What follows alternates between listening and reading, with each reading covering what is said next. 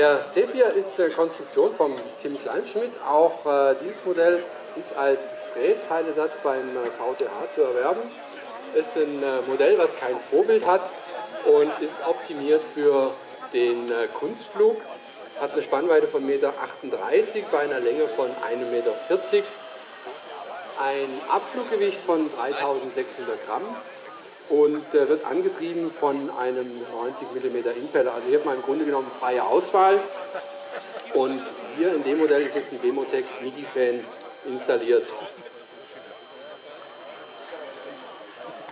Das äh, Modell, sagt er, ist extrem gutmütig, also ist auch als, äh, ja, so als Intermediate-Modell geeignet, also so als, als zweites, drittes Modell, wenn man so ganz gut zurechtkommt. Weil er sagt, es ist extrem gut von den Flugeigenschaften. Das Strömungsabriss ist bei dem Jet auch kaum zu, äh, eher zu führen. Also auch hier extrem gutmütig. Ich denke, das wird der Tim uns nachher auch noch zeigen.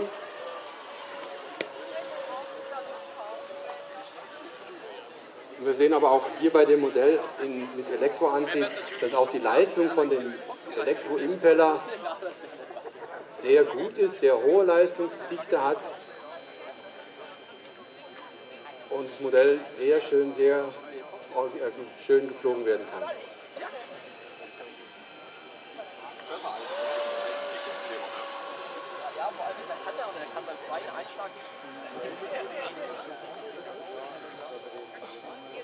Wir können es heute Abend im. Ja, machen wir schnell das. Wir noch.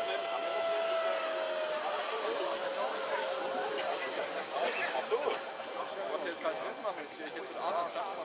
Wenn wir fertig sind Fliegen. Ja, dann können wir doch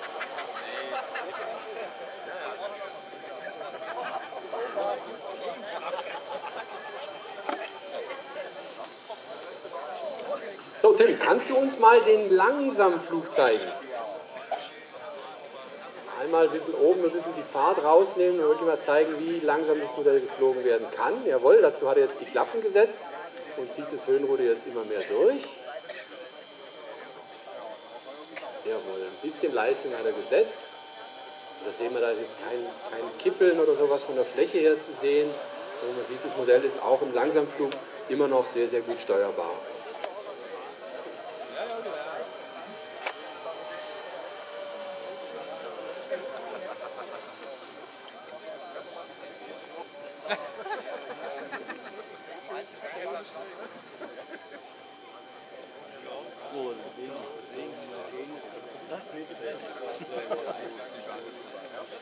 So, der Tim macht das obligatorische Flächenwinkeln.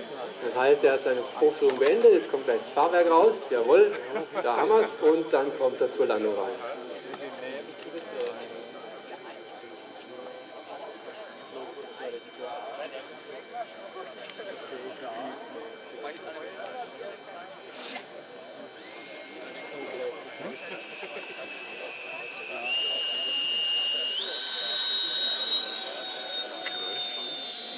So, hier jetzt in der Landung erstmal die C4 EDF. Super, sehr schön gemacht, Tim.